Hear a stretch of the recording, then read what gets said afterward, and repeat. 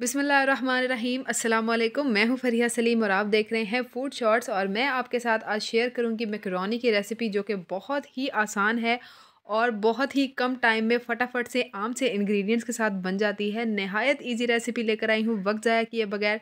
चलिए हम अपनी रेसिपी स्टार्ट करते हैं। बस आपने करना क्या है कि रेसिपी देखनी है एंड तक ताकि आप भी परफेक्ट रेसिपी बना सकें।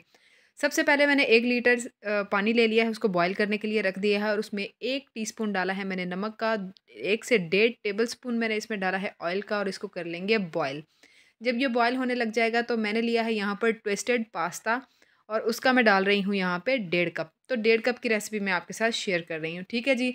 अब पकाएँगे हम इसको तकरीबन सात से आठ मिनट तक ताकि मैकरोनी जो है वो अच्छी तरह से बॉयल हो जाए।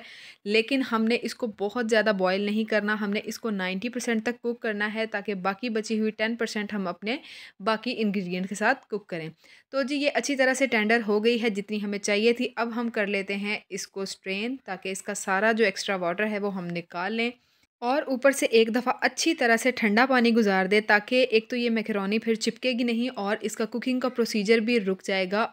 हर रेसिपी जिसमें किसी भी तरह का पास्ता यूज़ होता है, उसको इसी तरह से बॉईल किया जाता है स्ट्रेन करके ठंडा पानी गुजारा जाता है। अब हम लेंगे two three tablespoon oil के, उसको अच्छी तरह से गर्म करेंगे और यहाँ पाँच से छः जवे बारीक चॉप किए हुए लहसन के ऐड करेंगे और इनको ब्राउन कर लेंगे। जब लहसन जो है वो ब्राउन हो जाएगा, हम उसमें डालेंगे hundred gram boneless chicken cubes में कटा हुआ। ये तो है मेरी चॉइस क्योंकि प्रेजेंटेशन में भी अच्छा लगता है और खाने में भी मज़ा आता है। आप चाहें तो आप स्ट्रिप्स में भी काट सकते हैं, कोई इशू नहीं है। तीन से चार मिनट हम इसको पकाएँगे तो ये टेंडर भी हो जाएगा और इसका कलर चेंज होकर बिल्कुल वाइट कलर का हो जाएगा। अब मैंने यहाँ पे फाइनली चॉप्ड कैरेट डाली हैं, आधा कप आप अपने टेस्ट के लिहाज से डालें या ना डालें, या ज़्यादा या कम भी डाल सकते हैं। इसको पकाएँगे हम एक से डेढ़ मिनट क्योंकि गाजरें थोड़ा सा टेंडर होने में टाइम लेती हैं, उसके बाद इस रेसिपी में कुछ टाइम नहीं लगेगा। एक से डेढ़ टेबल स्पून यहाँ पर आप नमक का ऐड कर सकते हैं। अपने टेस्ट के मुताबिक हाफ़ टी स्पून मैंने यहाँ पर चिली फ्लेक्स का ऐड किया है। और यहाँ पर one fourth teaspoon add करेंगे ब्लैक पेपर का। एक टेबलस्पून डालेंगे इसमें सोया सॉस का, एक टेबलस्पून इसमें ऐड करेंगे चिली सॉस का और एक ही टेबलस्पून इसमें डालेंगे वाइट विनेगर का। यहाँ पर इसको एक्स्ट्रा स्पाइसी और सॉसी बनाने के लिए मैं इसमें ऐड करूँगी तीन टेबलस्पून चिली गार्लिक सॉस के। अगर आप ज़्यादा स्पाइसी नहीं खाना पसंद चाहते और आप लाइट खाना पसंद करते हैं तो यहाँ पर चिली गार्लिक सॉस की जगह पर आप टमाटो केचप ऐड करेंगे। बिना टाइम वेस्ट किए या इसको ओवर कुक किए हमने यहाँ पर ऐड कर देने हैं बारीक चॉप किए हुए कैप्सिकम आप अपनी मर्ज़ी के लिहाज से किसी भी शेप में इसको चॉप करके डाल सकते हैं। जब आपने सॉसेज और केचप ऐड करने हैं, उसके बाद आपने इसको बहुत ज़्यादा नहीं पकाना क्योंकि अगर आप बहुत ज़्यादा पकाएँगे तो सारे सॉसेज इसके ड्राई हो जाएँगे और ये बिल्कुल रूखा सूखा सा हो जाएगा और जब आप इसमें पास्ता ऐड करेंगे तो इनका टेस्ट नहीं जाएगा। ये देखिए, आप यहाँ पर सारे इंग्रेडिएंट कितने ज़्यादा मज़ेदार और सॉसी लग रहे हैं। इसी स्टेज पर मैं फ़ौर से इसमें बॉयल पास्ता ऐड कर लूँगी।